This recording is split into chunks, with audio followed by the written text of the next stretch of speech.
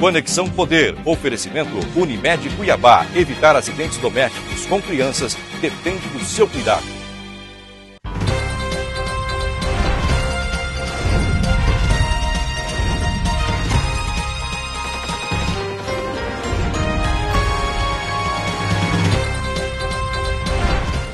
Oi, boa noite. O Conexão Poder deste domingo conversa com o advogado José Antônio Rosa, responsável pela banca jurídica do deputado Riva, candidato ao governo do estado pelo PSD.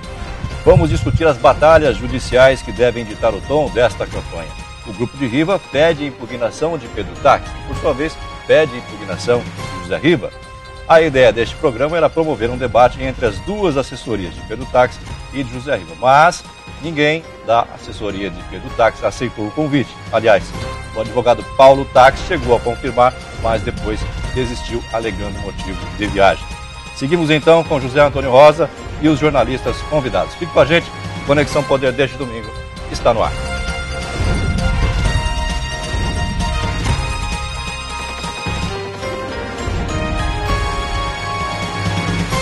Bem, o advogado José Antônio Rosa provocou polêmica na semana passada ao questionar a legitimidade da candidatura de Pedro Tax ao governo de Mato Grosso. O advogado alega que a ata que homologou a candidatura foi fraudada. Rosa pediu a impugnação de Pedro Tax, nesta que deve ser a eleição mais judicializada da história de Mato Grosso. Participam desta entrevista a jornalista Catiane Pereira, do site Olhar Direto, que edita também o site Olhar Jurídico, e o jornalista Paulo Coelho. Doutor, obrigado pela presença, boa noite. Gostaria que o senhor explicasse essa relação do senhor com o deputado Riva, já que o senhor atuou contra o João Emanuel, que era o que é o genro do deputado naquela questão da cassação na Câmara e também fazia parte do grupo de Perutax. Olha, é, eu atuo como advogado no estado de Mato Grosso há mais de 15 anos. E nesse período é, atuo no eleitoral, fazendo campanhas eleitorais e esse trabalho ele é um trabalho, é, é, em cada eleição nós renovamos esse trabalho com este ou aquele grupo. Na eleição de 2012, até 2012, nós vimos fazendo um trabalho com um grupo ligado ao PSDB. Hum. É, Dante de Oliveira, Antero de Barros, essas pessoas. Quando foi Wilson Santos, quando foi em 2012, é, eu fui convidado e fui prestar o trabalho para o vitorioso candidato Mauro Mendes. E nesse trabalho do grupo, eu passei a advogar por sete vereadores que foram eleitos na capital. Esses vereadores eleitos, é, nós fomos com eles até a prestação de conta e quando começou a discussão na Câmara Municipal sobre a presidência, é, de não, não aceitarem mais é, o João Manuel, o vereador João Manuel na presidência, é, esses vereadores eram meus clientes. E aí ele e outros oito vereadores, totalizando 15, é, me fizeram uma proposta de trabalho para é, discutir a retirada do João Manuel da presidência da Câmara. Eu aceitei o trabalho e fizemos o trabalho que culminou no que é, eu é, chegou aí. Porque o senhor é, foi acusado de participar ativamente daquele vídeo, da gravação daquele vídeo que acabou derrubando o João Emanuel. Não ficou nenhum ranço sobre isso? Acabou essa história? É, não, aquela questão é o seguinte, os fins justificam o meio. Hum. Né? Nós estávamos trabalhando nisso, estávamos no meio de um embate jurídico, eu fui procurado é, no meu escritório por uma pessoa que teve um problema com o terreno dela. Uhum. É, analisando a documentação que ela me levou, eu disse, ela não era minha cliente, ela foi lá porque ela precisava de uma emergência, de socorro. E aí, analisando a documentação, eu disse para ela que tinha dois jeitos de fazer. Um era fazer uma ação normal, comum, de conhecimento, que ela ia demorar 10 anos sem o terreno dela, ia perder o terreno, porque tinha uma escritura falsificada em cima do terreno e ela vai ficar 10, 15 anos discutindo isso na justiça até ela ter o direito de ter o patrimônio dela de volta. A outra discussão seria uma discussão mais rápida, em que ela podia fazer uma prova unilateral de que o terreno é dela, de que foi fraudada essa escritura e que fazer esses documentos e aí o terreno voltar para ela quase que de imediato, numa ação mais rápida. E para isso ele já tinha que fazer prova disso. E uma maneira de fazer prova, não tem muitas provas de gente fazer prova rápida, é você, com o interlocutor que você quer fazer prova contra ele, fazer a prova gravando ela gravando. E a justiça reconhece isso como uma ação legítima, porque defendia os interesses do patrimônio dela, pessoal. Então, isso foi orientado para ela, ela topou fazer. Eu falei: você pode procurar o Ministério Público para fazer, você pode procurar um delegado de polícia para fazer, ou se quiser, eu te auxilio aqui a fazer. Porque o que eu quero disso, o que eu preciso disso, eu quero fazer prova de que há aqui uma questão ligada é, à grilhagem de terras para poder colocar numa CPI de grilhagem de terras lá na Câmara Municipal. Era isso que eu queria só. E aí o resto é história. Doutor Zé, eu, eu tenho que perguntar isso porque as pessoas acabam não entendendo, né, né Paulo, né, Catiane? E o trabalho, um e, o trabalho tá e, o, e, o, trabalho encerrou. Não ficou nenhum constrangimento em no, relação a isso. O trabalho encerrou no dia que ele pediu a renúncia da presidência da Câmara. Eu fui lá, disse, olha, está aqui o contrato, eu quero só que vocês liquidam comigo o que me devem, e aqui está certo, aqui então não tem... Ah, mas precisa você fazer isso, mas aqui, mas não, só se vocês me contratarem de novo, eu não tenho hum. nada mais a fazer aqui. Doutor Zé Rosa, é, boa noite. Boa noite. É, Torna-se um nó aí na cabeça do, do, do eleitor, né, já que o senhor está aí numa batalha eleitoral agora, sendo advogado do deputado Zé Riva. Olha só, uh, o senhor falou aí de Dante Oliveira, que Deus o tenha, tem o Wilson Santos, e até Mauro Mendes entrou nessa, nesse rol aí de, de ex-clientes seus. E agora José Riva. Por que José Riva, considerando toda essa situação aí, inclusive o senhor de forma bem direta, né, teve participação nessa, nesse inferno astral aí do João Emanuel.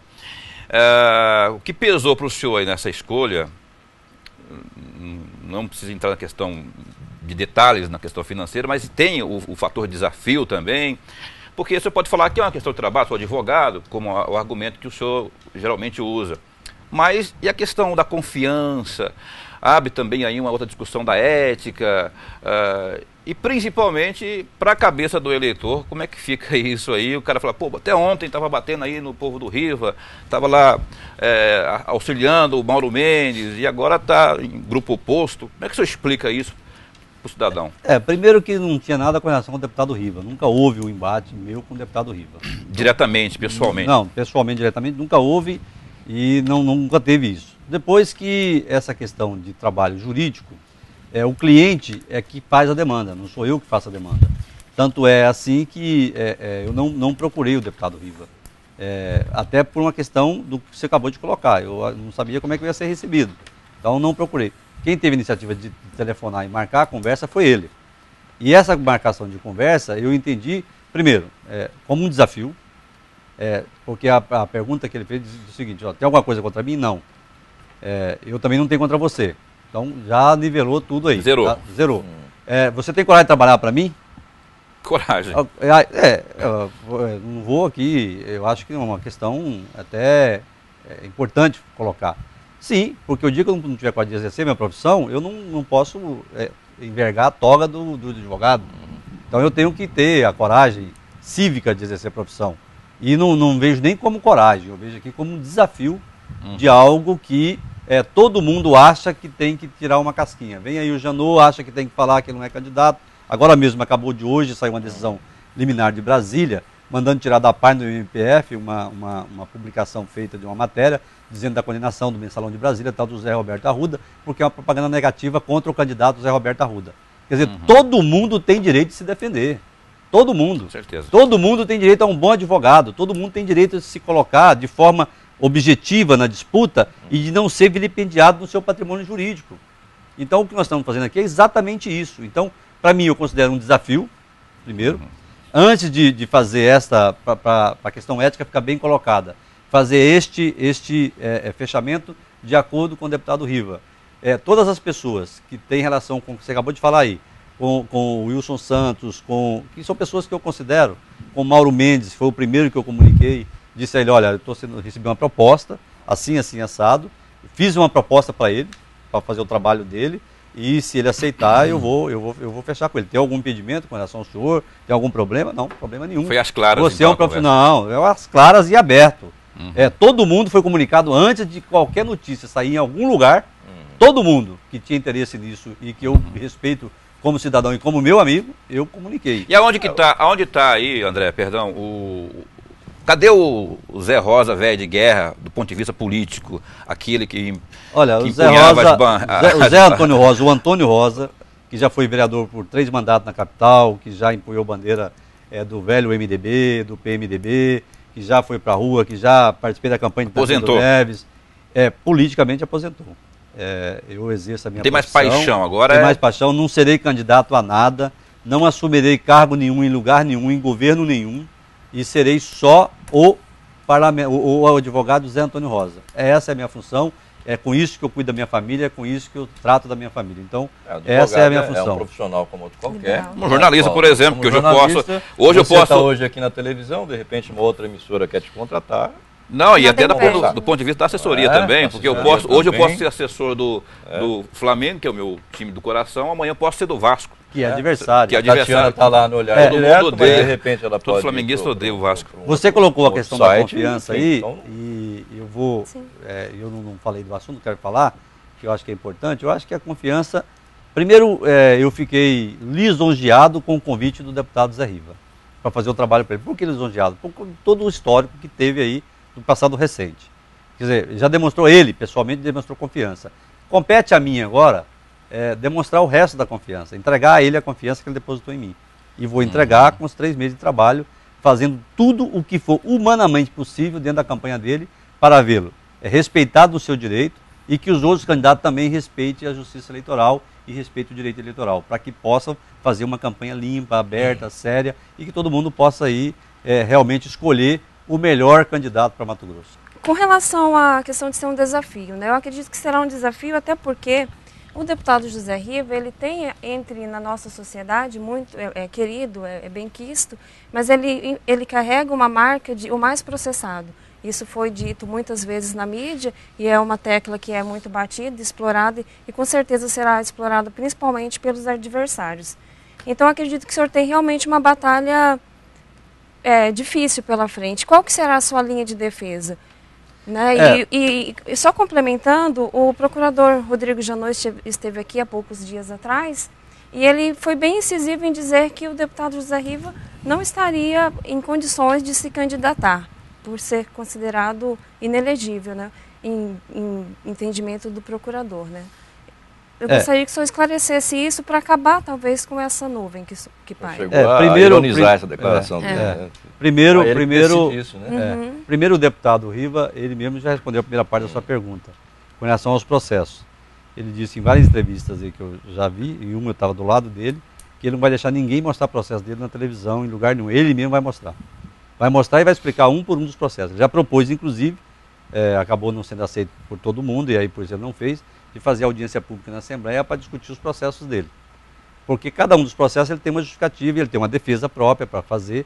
Eu não advogo nesses processos, mas por dever de ofício já conheço alguns deles, os principais deles, e é mais ou menos quase todos eles repetidos na mesma, praticamente na mesma linha. Então nós já sabemos mais ou menos como é que como é que são os processos, como é que funcionam. Então ele mesmo já disse que vai fazer esse trabalho. Eu, como advogado, considero que enquanto não tiver transitado em julgado seja tanto no primeiro grau quanto no, no nível superior, ou no TRF, no, no STF, no STJ, é, não tem condenação, não há condenação. Então ninguém pode condená-lo de uma coisa que ainda está em trâmite.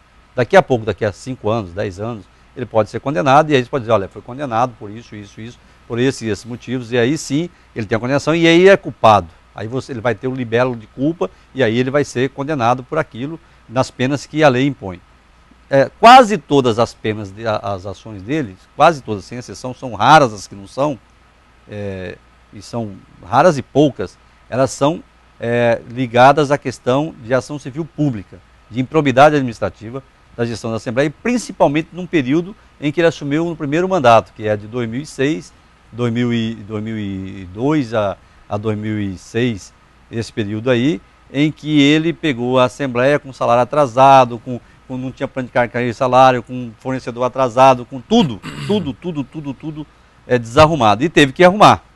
E esse arrumar acabou sobrando algumas coisas é, que ele responde até hoje. Você pode ver que as ações são 2005, 2006, 2007, são ações desse Mas período. tem condenação quer, já, quer dizer tem condenação, que pra, tem quatro condenações no Tribunal de Justiça. Você quer dizer que para arrumar acaba se atropelando algumas coisas e não observando é, não, algumas, é que, é algumas determinações, algumas regras para poder é resolver. É que ele fez, isso é, acaba dando da conversa é com ele, de ouvir ele, essa é uma conversa dele, de defesa dele, ele fez, teve que fazer alguns compromissos para que a Assembleia andasse, para que o funcionalismo trabalhasse, para que resolvesse as questões financeiras de todo mundo. E aí, na data certa, às vezes o recurso que vinha não dava para pagar. E aí ele buscava aqueles empréstimos que foram feitos.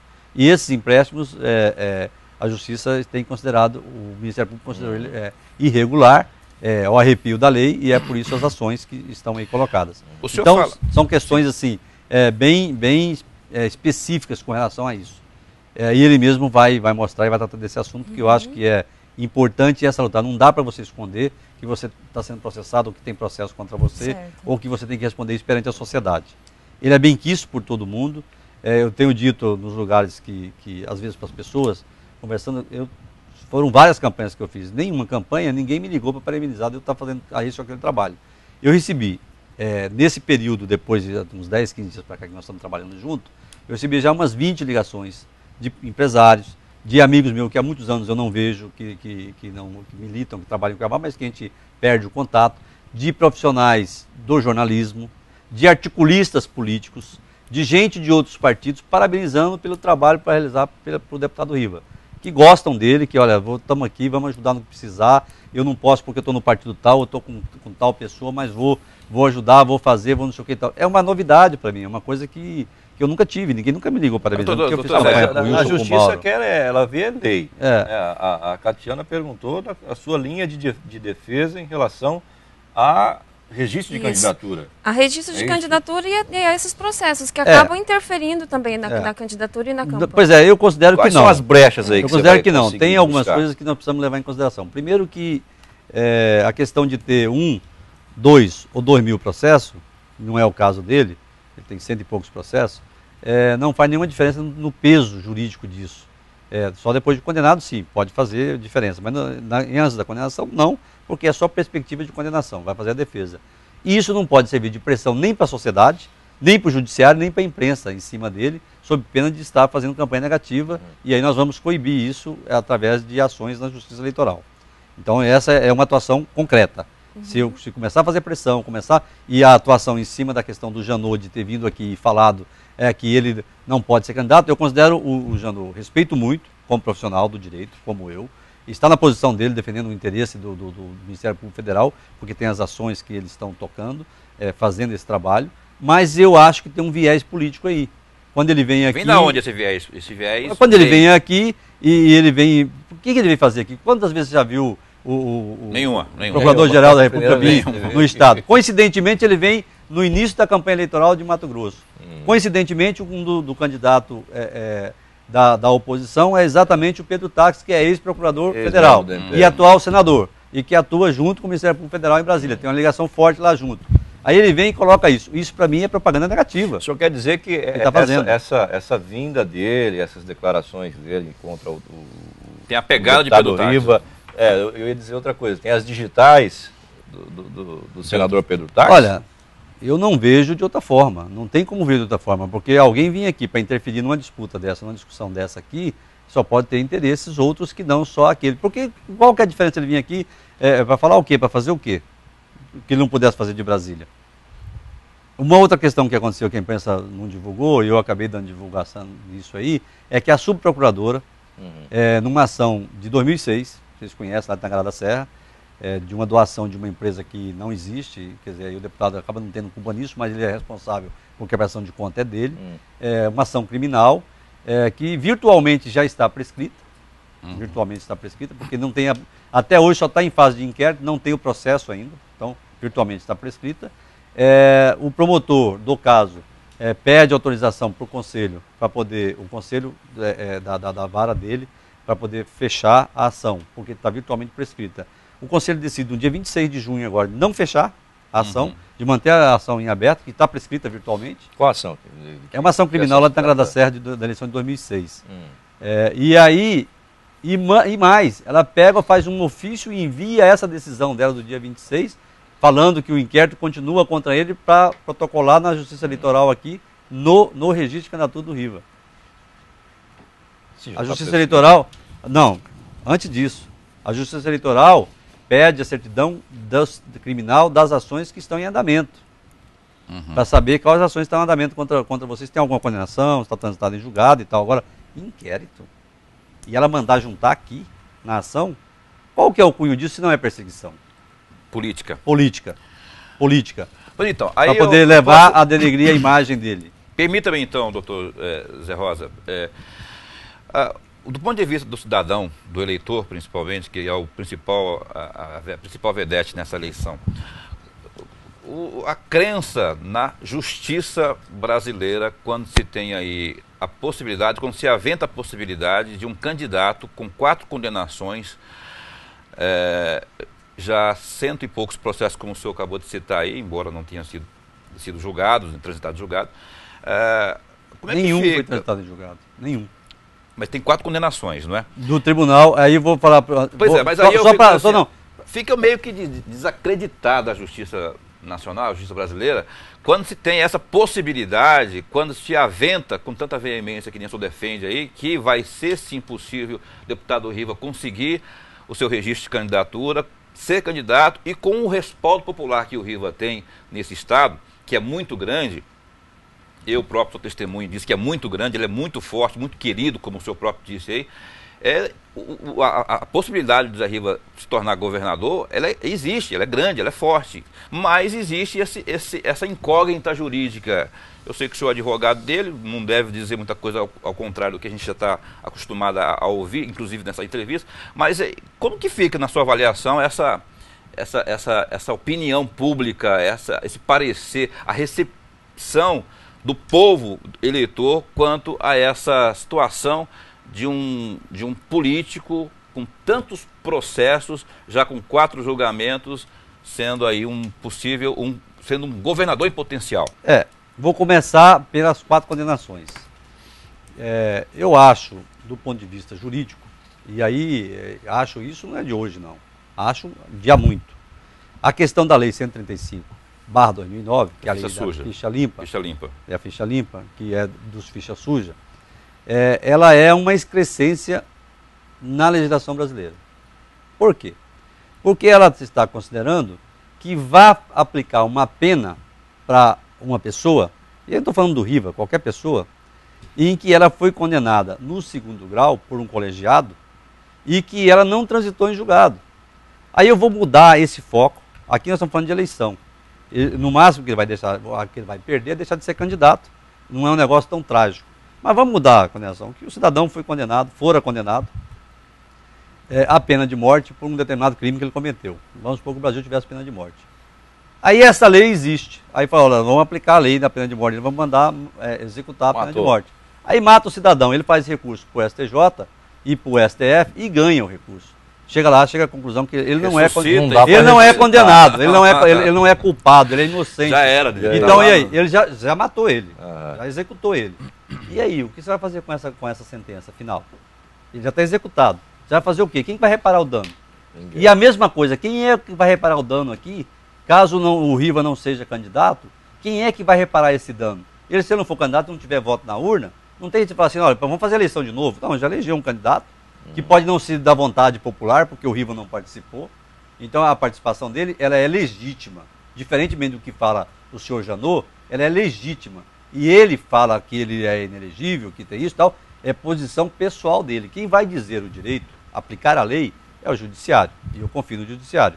Por que, que eu confio no judiciário? Porque a mesma lei, a 8.429, barra 2002, que é a lei da improbidade administrativa, que diz que, que, que as penas em relação à perca dos direitos políticos, uhum. fica inelegível durante oito anos, quatro a oito anos, etc, uhum. etc, etc. No artigo 20, diz que tem que estar transitado em julgado que tem que estar transitado em julgado, e que, e que, para que isso se aplique na questão é, da inegibilidade, é preciso aferir se tem. É preciso aferir se tem o dolo, o dano erário e o enriquecimento ilícito. O que o senhor acha? O senhor pois bem, não é o caso. Não, não, acho não, é não, acho não. Aí, aí está os acordos aí para todo mundo ver. É, não é uma questão de achar. E sites já, já publicaram, eu não estou achando nada. É. Os acordos não foram escritos por mim, uhum. foram escritos por desembargadores e, e votados por desembargadores. Nenhuma das quatro condenações do deputado Riva tem o dolo, e tem que ser cumulativo. É um e outro e outro. Tem o dolo, tem a malversação do dinheiro público, ou seja, o dano é horário, ou tem o enriquecimento ilícito. E não foi transitado. E, e não foi transitado e julgado. Portanto, portanto é, ele está apto a ser candidato, sim. Ah, mas ele foi condenado a perder os direitos políticos por oito. Só depois que transitar em julgado. O direito político só se perde quando transitar em julgado. Se ele não perde o direito político, o artigo 20 dá a ele toda a condição dele ser candidato. E o TSE, que é o Tribunal Superior Eleitoral, que é que, em última análise, diz quem é que tem o direito nessa questão eleitoral, já tem decidido inúmeras e diversas vezes que, se não tiver cumulativamente esses três itens, que não se aplica aí a inegibilidade. Então é querer forçar demais uma barra, querer barrar um candidato legítimo. E o Riva, quando você fala assim, ah, ele é querido no Estado. Será que ele é querido por quê? Pelo trabalho, pela competência. Ele anda esse Estado. Eu conversava, conversava hoje com pessoas do interior que diziam para mim, olha, nós somos aqui ligados ao partido do candidato, do outro candidato aí mas nós vamos trabalhar para o Riva porque não tem como trabalhar para outro, é para ele. ele uhum. Quando nós temos problema aqui no interior, quem nós socorremos é dele, ele que nos socorre. Você acha que essa parte ressalta, é, sobressai a parte é, dessa incógnita jurídica? Você acha que o trabalho dele, esse que o senhor alega, é, é, sobressai a, a, a essa essa, que eu posso dizer, indisposição jurídica que ele passa nesse momento? Eu tenho certeza disso. Eu tenho certeza disso. Basta você ver é, as pessoas que estão em volta dele, e as pessoas, por exemplo, é, eu estive com ele na, no sábado, dia 12. É, não é perigoso isso, no, não, só, só, só, no segundo tempo do, do, da prorrogação do jogo Holanda e Costa Rica. A gente estava vendo, conversando sobre isso aqui, sobre política e tal, e vendo o segundo tempo, que estava interessado para saber quem ia ser o adversário do Brasil, e, e, e ele recebendo ligação de telefone de prefeitos do interior de outros partidos. Uhum. De, ele não ligou para nenhum deles, dizendo: Olha, estou com o senhor, apoio o senhor e vou votar no senhor e conta comigo aqui. O que o senhor precisar de mim aqui é comigo, vou fazer.